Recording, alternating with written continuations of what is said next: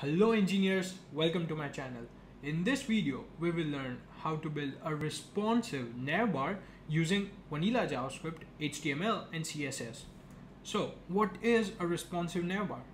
This is a responsive navbar. As you can see, on bigger screens, you see all the links on the top which are completely visible, but when the screen size is smaller, what you see is a burger icon which when clicked opens up all these links right? This is a responsive design. So why do we need a responsive navbar the reason is it's really hard to fit all these links in a smaller device right? That's why we need a responsive navbar so let's go ahead and build one right? I'll close this. I have my VS Code opened up right here with empty index.html, style.css, and script.js. So let's start with HTML. Okay, I'll just do exclamation so that it pre-fills everything for us. And for title, we will just do navigation. And let's just uh, load this so that we can see what's happening. Uh, this is Safari. I'll just copy the link, close Safari, and put it in Google Chrome and nothing there but we can see navigation on top. Next uh, let's add our script files and style.css so let's start with style.css and next I'll add my script tag. And this will have source of script.js and with defer tag. And inside body uh, we will create a nav element with class of navigation and hit enter. Inside that we will have a div with class of logo and here I'll just say hello right now. And next we will have another div tag with class of links. Here we will put all our links. And inside that we will have ul with list item with anchor tag. And anchor tag will go nowhere. And I'll just do home right here. Let's copy this three more times and change this to service. And go here and change this guy over here to about. And this will be contact. Okay so for now, we are done with the HTML part. Now let's switch, uh, let's go to style.css. And here we will start with star and this is going to be margin of zero, my bad, zero and padding of zero. And we will have box sizing of border box and save it and you can see it worked. Uh, next we will change font family to let's do sans serif and just save it. Okay looking pretty good. Okay next we will add some styling to our navigation bar. So right here I'll do display of flex so flex and save it. And you can see it uh, it put everything in a row. Let's uh, let's do justify content of uh, space between and it will put them further apart and we will do align item center so that it puts them in center vertically. So I'll just do center. Next we will change background color. So background color is going to be goldenrod save it. And next we will change color to white so that our logo changes. Our logo is just a text but it's still white. Next uh, let's just add some styling to our logo uh, basically we will just increase the font size to 25 pixels and add some margin around of 10 pixels and just save it. Okay awesome. It's working perfectly fine. Next we will uh, make this guys this links in a row because we don't want them to be horizontal at least for now. So links ul and this is going to be of display flex and just save it. Okay perfect. Next we will do links and this time we will target list items. And we will start with list style of none. And that's it. Next we need to target a a tags. And this guys will have text decoration of none so that uh, we don't see underlines. We will change their color to white and add some padding of let's add padding of 20 pixels Next, uh, let me show you one thing. So what happens is, uh, let's do links and when you hover over list items, so I'll just do hover and okay, uh, we will add background color of, let's do dark gray and just hit enter. And when I hover over them, you do see background, but it doesn't look pretty good. We want it to occupy the whole space, right? So a good way to is, a good way to do this will be display of block, adding this style inside our A tag. And when you save it, you can see this. Looking pretty amazing, right? Great design. Awesome. For uh, a, a desktop screen, this looks just perfectly fine, right? A good working navigation bar. But when, when you try to decrease the size, not, uh, it's not possible to fit everything on the screen. That's why we need a burger menu. So let's go ahead and add burger to our index.html.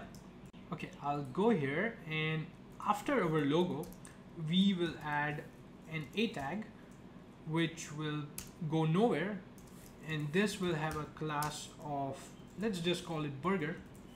And inside a tag we will have span with class of bar. So this is going to be those lines right? The burger line. And that's why we need three. So make sure you add three three uh, spans right? These are going to be those lines.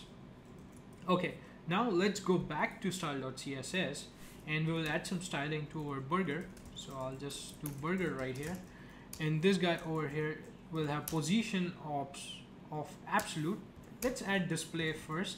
So display of uh, flex and hit save. Let's also add styling to our bar. And bar will have styling of so let's start with height of 3 pixels width of 100 percent 100% and we will have background color of white and we will have border radius of 10 pixels. And just save it. We still don't see anything because we still need to add this stuff. So this will have let's add width first. So width is going to be 30 pixels. Height is going to be 10 pixels and save we still don't see anything because we need to position it and we'll do top uh, let's do top 10 pixels save it and we will have right 10 pixels just save it. And now we can see it right? Uh, you can see there's three lines right there. So we will change flex direction. This is going to be column and save it and we still see it. We need to add some spaces right? So flex direction will be column and we will have justify content and we will say space between save it and we see some space right there. But the problem is height needs to be 20 right here and if we save this we can see right? It, it, it gets more height. So next let's work on the responsiveness. So what I'll do is I'll change this to none so that we don't see it on bigger screens. And let's go down here. And here we will add a media query. So media. And this will be max width. So width of 600 pixels. And we will open this up. And here we will do burger. And we will make this display flex. And I'll just save it. Let's try to uh, get to smaller screen so as you can see right now screen is decreasing and perfectly at 600 we see the icon, right? Okay, uh, let's keep it this way so that we can see what's happening. Next, we will do navigation. This is going to be flex direction of column, and I'll just say, don't mind the train, right? It, I, I know it, it. We just live right here, close to the tracks, so can't help. Uh, align items will be flex start, and I'll just save it. As you can see, it it just snuck there, right? Next, we will target the links. So I'll just do dot links and links. And for links we will display none. For now let's just do none right? We will use this later on. So uh, right now just uh, comment it out so that we can see stuff. And width is going to be 100% just save it next we will target links and this is going to be our unordered list. This will have flex direction of column and width of 100% and text align of center and just save it and you can see this right? And when you hover you still see the dark gray color. Okay awesome awesome. And the only thing we need to add is so we need to add active tag right here and this will be display flex So I'll just save it and change this to none. So for now, right now you won't see it. We need to add JavaScript stuff which will make it see us, right? So that we can see the menu. Let's start with, uh, let's call it burger. And this is in our JavaScript file. We'll just say document dot query selector and we will select our burger and we will also select our links so we'll just say document dot query selector and this is going to be links.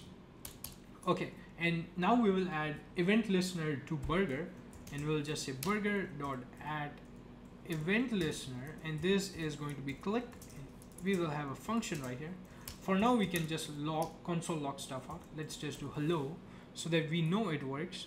And okay it does work. So our javascript is loading just fine and here we will just do links dot. So okay uh, we need to do links dot class list dot toggle. And this is going to be active class. That's it. Okay now when I click here we can see the menu pop open right? Amazing. So on full screen we see our complete menu as you can see it right here. And when you decrease the screen size like exactly after 600 you see this a burger icon with burger menu. Awesome. Okay uh, if you have any questions post them in the comment section below and I'll see you guys next time